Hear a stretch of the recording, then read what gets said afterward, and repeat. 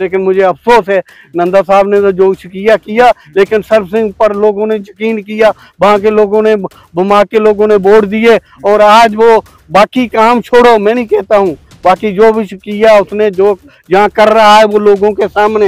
लेकिन एक सुजनदार से गब्बर रोड, उसको कंडक्ट नहीं कर सके। खरीदारों के बोर्ड भी दोनों ने लिए थे, इन्होंने, नंदे और नंदा साहब और अपने सर सिंह ने और मुझे बताओ। जुगल जी ने भी लिए होंगे?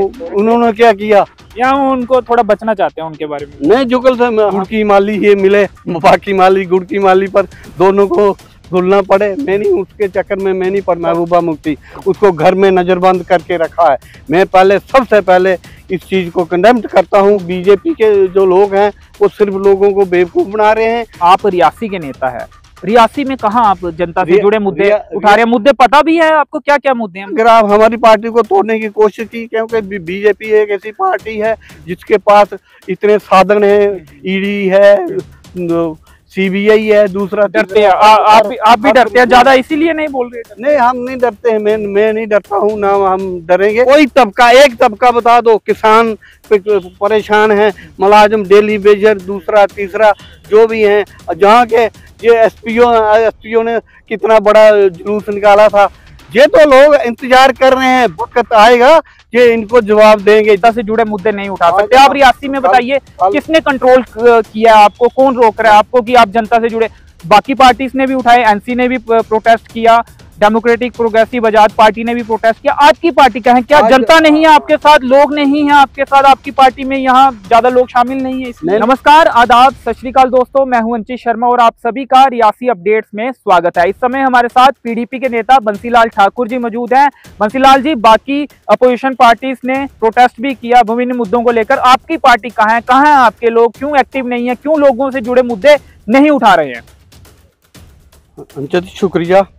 हमारी पार्टी जो- क्योंकि जम्मू कश्मीर में पूरे तरीके से काम कर रही है और आपको पता है कि जम्मू कश्मीर में जो जो सेंसर लगा रखा है गवर्नमेंट ने यहाँ का कब कौन क्या- सा सेंसर लगाया वो तो कह रहे हैं भाजपा वाले तो कह रहे हैं जम्मू कश्मीर बदल रहा है डेवलपमेंट की ओर बढ़ रहा है विकास की ओर बढ़ रहा है नया जम्मू कश्मीर। ये ये अंचत जी आपके सामने है आप पत्रकार हैं आपको पता है नहीं आप पर कौन सा सेंसर लगे कि आप जनता से जुड़े मुद्दे नहीं उठा सकते? आप रियासी में बताइए किसने कंट्रोल किया आपको? कौन रोक रहा है आपको कि आप जनता से जुड़े?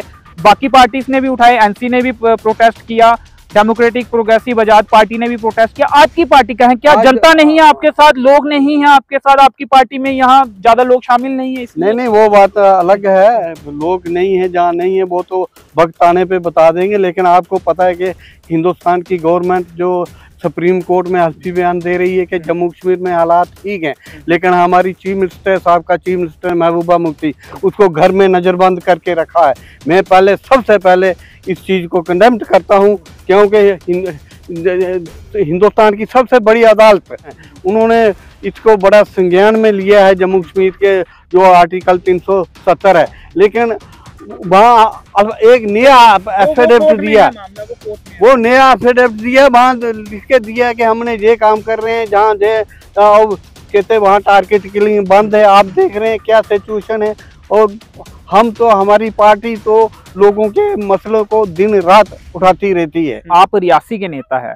रियासी में कहा आप जनता से जुड़े मुद्दे उठा रहे हैं मुद्दे पता भी है आपको? क्या क्या मुद्दे हैं? मुद्दे देखो मुद्दे ये ये हैं कि रियासी में क्या काम हो रहा है। जहाँ जितने बीजेपी के नेता आते हैं और वो हम लोगों के साथ झूठे वायदे करते हैं हम केंद्रीय विद्यालय देंगे बारीदारों फ़िक्र नहीं करो हम ये करेंगे।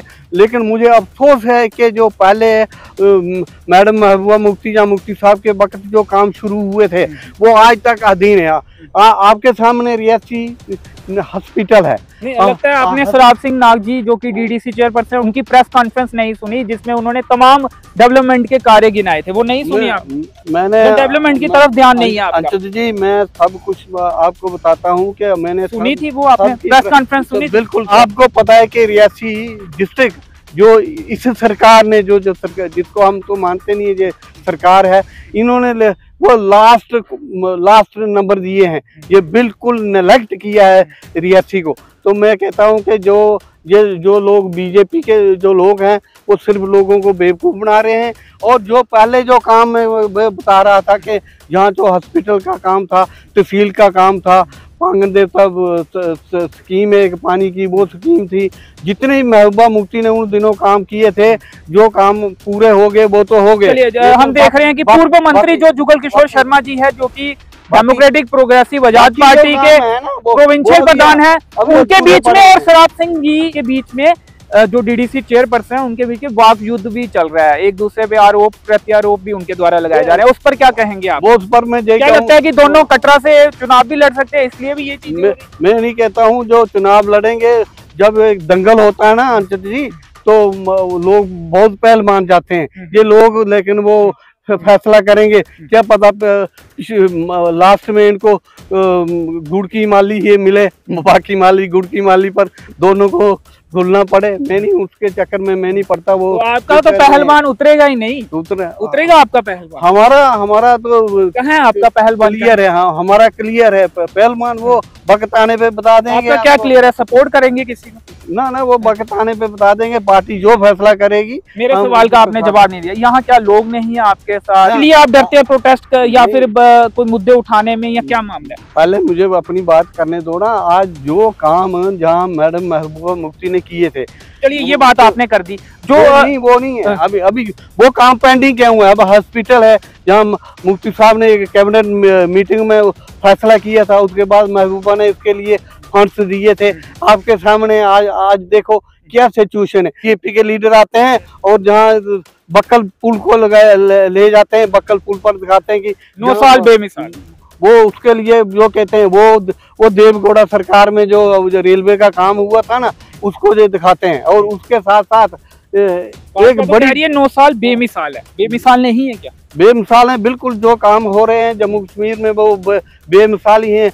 मुलाजम आज कहाँ है? जो- कोई तबका एक तबका बता दो किसान परेशान है मुलाजम डेली बेजर दूसरा तीसरा जो भी हैं।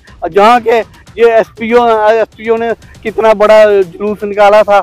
ये तो लोग इंतज़ार कर रहे हैं वक्त आएगा कि इनको जवाब देंगे जिस जिस हिसाब से अगर जवाब भी दिया तो आपको वोट तो क्यों देंगे? ये बताइए ना यहाँ पे आप क्या कर रहे हैं? हाँ हमारा हमारा जो हमारी विपक्षी दल की भूमिका निभा पा रहे हैं हमारी जो कारकर्दगी है वो लोगों के बीच में है। वो देखेंगे कि महबूबा मुफ्ती ने क्या काम किए हैं जहाँ किस हिसाब से जम्मू कश्मीर रियासत को चलाया है तो इसके लिए ये तो बच्चे बच्चे को पता है कि महबूबा की जो पॉलिसी है वो एक क्लियर पॉलिसी है। चलिए तो एक एक सड़क की भी बात हो रही है। आप बमाग से चूँकि आते हैं वहाँ के सरपंच भी रहे हैं देवीगढ़ पंचायत के पूर्व सरपंच हैं आप।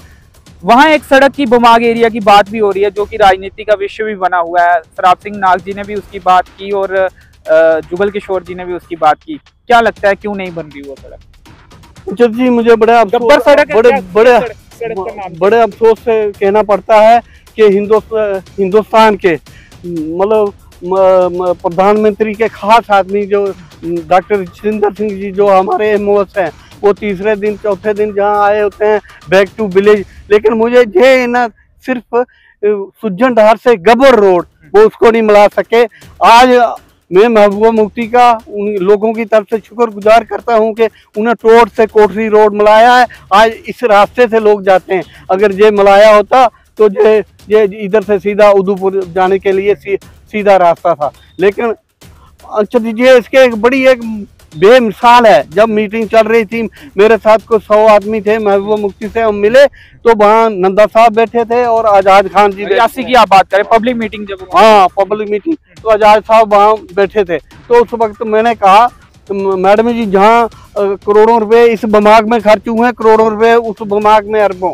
लेकिन उनका आपस में कंडक्ट नहीं है। उसने बोला बताओ कौन कौन मैंने ये दो दोनों बताए। लेकिन उस वक्त हमारे नंदा जी जो एम ओ एस हैं वो वहाँ बैठे थे। उन्हों, उन्होंने कहा ये हमने नवाड़ में रख दिया। अगर वो वहाँ नहीं बोलते थे ये नवाड़ में रख दिया तो आज ये उसी वक्त जैसे तोड़ से कोठरी उस वक्त क्लियर हो जाता था। लेकिन मुझे अफसोस है नंदा साहब ने तो जो कुछ किया किया लेकिन सर सिंह पर लोगों ने यकीन किया वहाँ के लोगों ने बुमा के लोगों ने वोट दिए और आज वो बाकी काम छोड़ो मैं नहीं कहता हूँ।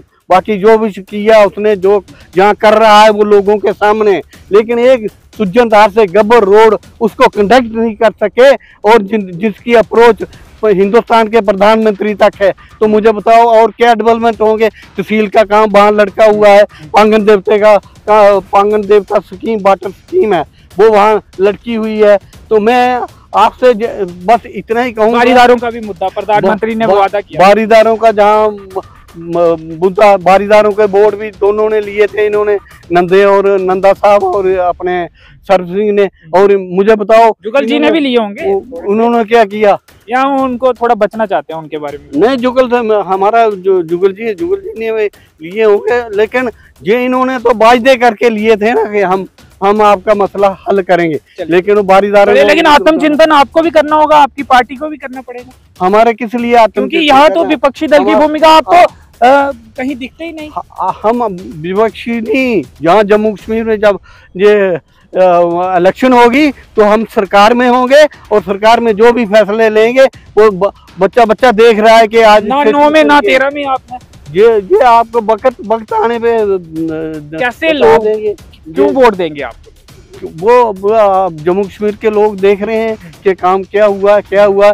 जो लोग हैं इधर उधर जा रहे हैं सौदेबाजी कर रहे हैं इधर उधर ये इनका कोई आपका भी ग्राफ काफ़ी कम हुआ है काफ़ी लोग हैं आपकी पार्टी से हाँ ग्राफ हमारी पार्टी को तोड़ने की कोशिश की क्योंकि बीजेपी एक ऐसी पार्टी है जिसके पास इतने साधन है ईडी है सीबीआई है दूसरा डरते हैं। आप भी आप भी डरते हैं ज़्यादा इसीलिए नहीं बोल रहे नहीं हम नहीं डरते हैं मैं मैं नहीं डरता हूँ ना हम डरेंगे लेकिन उनका काम तो यही है वो इसी तरह चलिए चलिए चलिए इसी नोट पे खत्म करते हैं कि मैं नहीं डरता हूँ ना डरूँगा। पुराने सिपाही हैं पीडीपी के बंसीलाल ठाकुर जी रियासी से आते हैं और पूर्व सरपंच रहे हैं देवीगढ़ पंचायत ब्लॉक बमाक के।